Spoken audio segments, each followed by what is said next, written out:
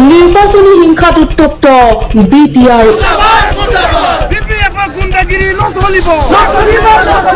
বুধবাৰে সন্ধিয়া U P P এলৰ সভাপতি প্ৰমোদ বড়োৰ ওপৰত দুৰ্বৃত্তৰ আক্ৰমণ। কিন্তু প্ৰমোদ বড়োৱে প্ৰথম নহয়।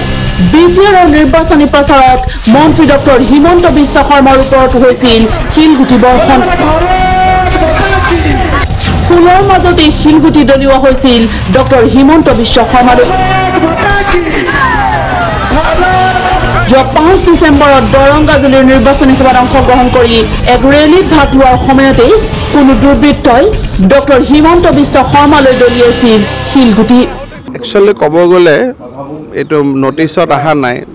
দৰঙাজুলি টি টি গাৰ্ডেনত কেম্পেইনৰ সময়ত মোৰো ইয়াত শিল পৰিছে।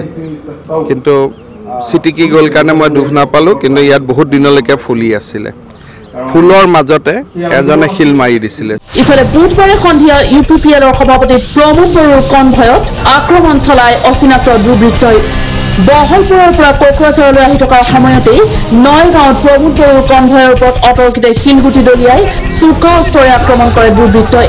এই আক্ৰমণত প্ৰমোদ বড়োৰ বুলেট প্ৰুফ গাড়ী ভাঙি ব্যাপক ক্ষতিসাধন হয়।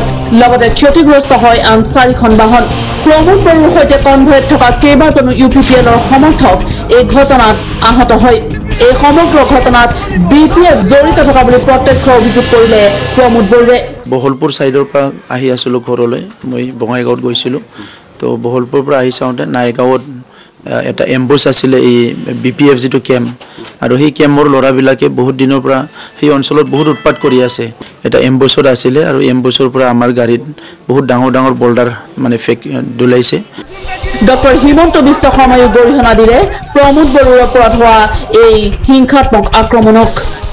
যোৱাকালি যিটো ঘটনা ঘটিছে তাক নিশ্চয় গৰিহণাৰ যোগ্য মই ভাবোঁ যে by and large B T চিৰ ইলেকশ্যন পিচফুল হৈছে আৰু ভাল কৰি হৈছে আৰু ৰাইজৰ যিটো জনাদেশ হ'ব তাক আমি গ্ৰহণ কৰিব লাগে। ইফালে ইউ পি পি এলৰ সভাপতিগৰাকীৰ ওপৰত হোৱা এই আক্ৰমণৰ বিৰোধিতা আৰু দোষীক শাস্তি দিয়াৰ দাবীত ইউ পি পি এলৰ সমৰ্থকসকলে কোকৰাঝাৰত তীব্ৰ প্ৰতিবাদী কাৰ্যসূচী পালন কৰে।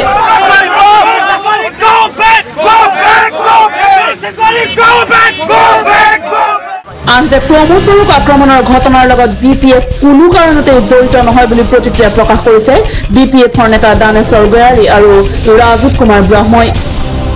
Video' report News Live.